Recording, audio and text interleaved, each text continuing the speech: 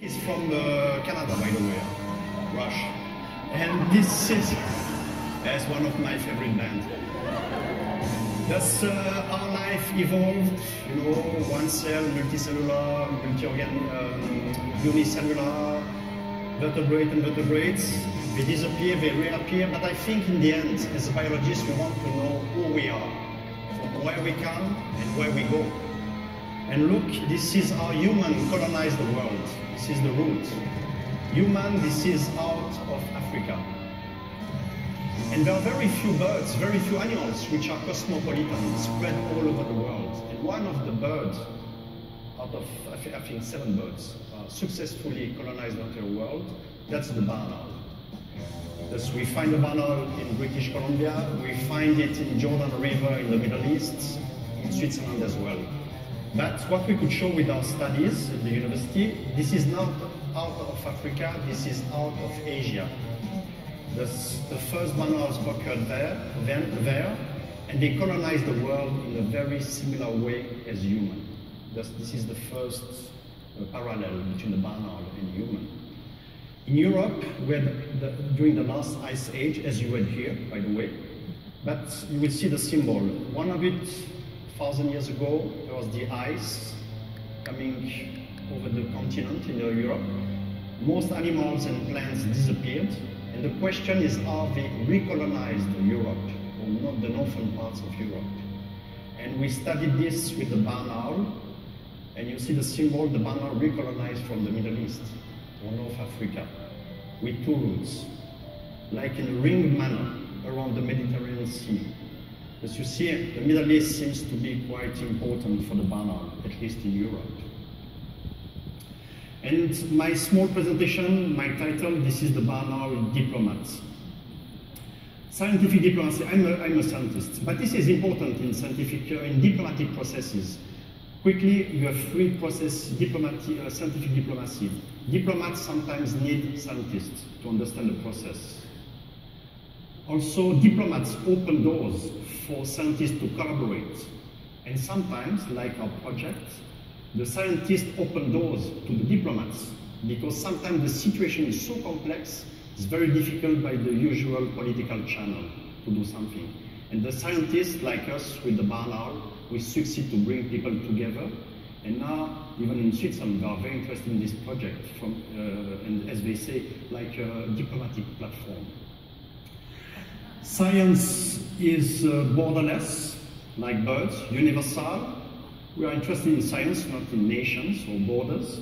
Diplomats, it's a bit the dif difference. We serve a country. Thus, are diplomats and nature conservationists could be bedfellows? That's the key question.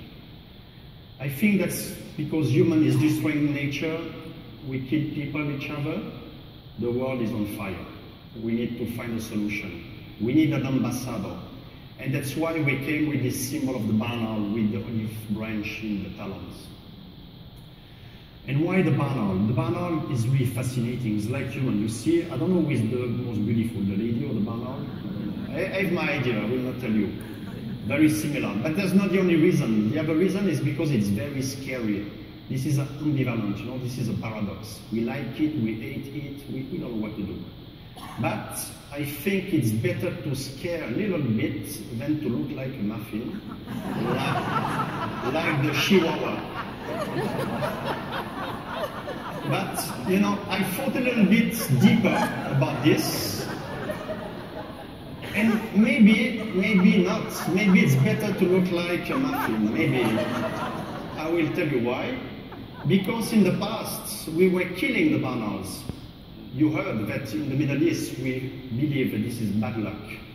We were doing the same in Europe. I don't know here in Vancouver, but in Europe, we were nailing the barn owls against the doors of the churches to ward off evil spirits. That's better to be a chihuahua, at least in the past. And to be an ambassador, you need to have a very nice costume. And sometimes several costumes, you know, during the day, at night. And the is like the same, right? You see? You, you can have white barn dark barn a real ambassador. But I think you need more than the costume, it's not enough. It's easy, you can buy a nice one and that's it. No, no. To be an ambassador, you need to fascinate. And that's the barn. Look at this barn it is white, this is probably one of the only, this is the only predator, which is nocturnal predator, which is white.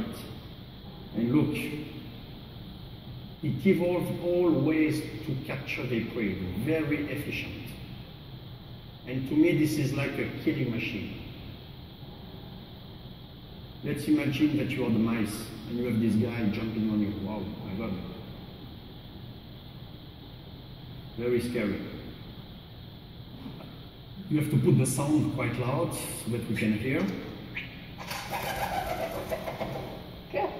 Very noisy on this pigeon. That's the sonogram. And look at the barn owl. Listen to the barn owl.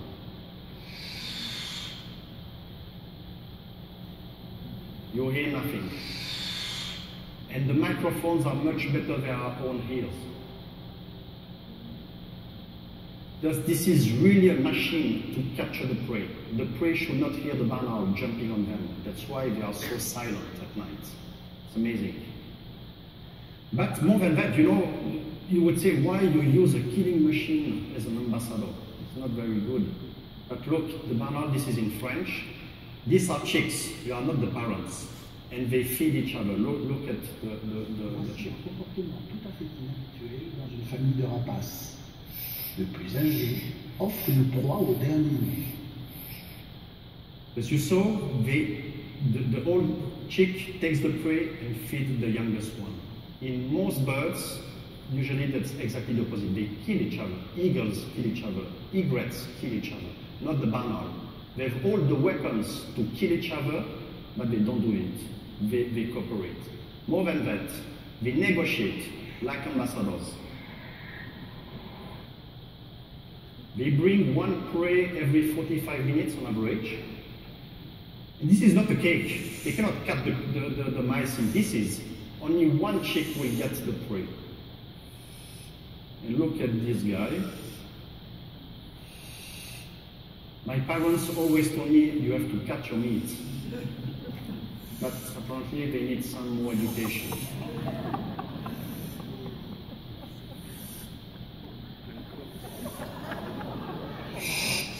Listen.